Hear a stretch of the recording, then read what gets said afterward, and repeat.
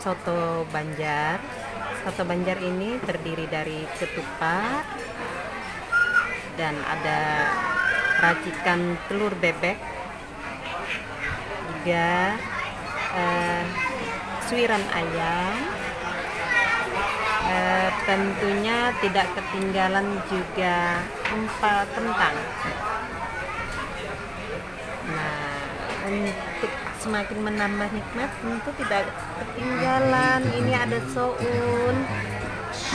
Hmm, lebih menambah kesegarannya. Nih, ada jeruk nipis yang akan kita peres di sini. Jadi terasa asam segar.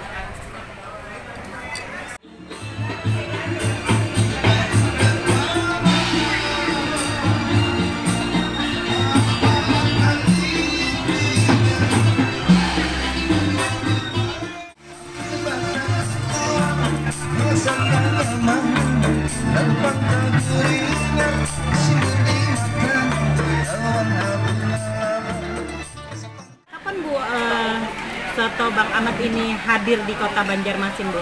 Ya, tahun 2002. Mm-mm. Sejak tahun 2000 2002. 2002 tadi ya. Soto Banjar ini ciri khasnya itu di mana Bu? Eh, kuahnya yang jeruk itu. Kuahnya yang keruh ya. Iya.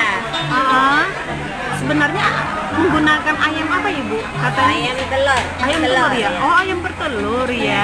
Dari kita rasanya sendiri yang membedakan dengan soto lain apa Bu?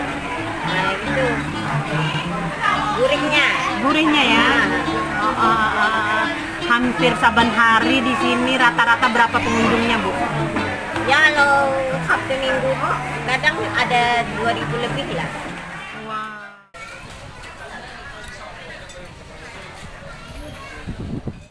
Nah, tadi saya sudah menikmati nikmatnya rasa soto Banjar yang merupakan khas makanan Banjarmasin atau Kalimantan Selatan. Nah, cukup sekian perjalanan kita di kuliner wisata kuliner Banjarmasin.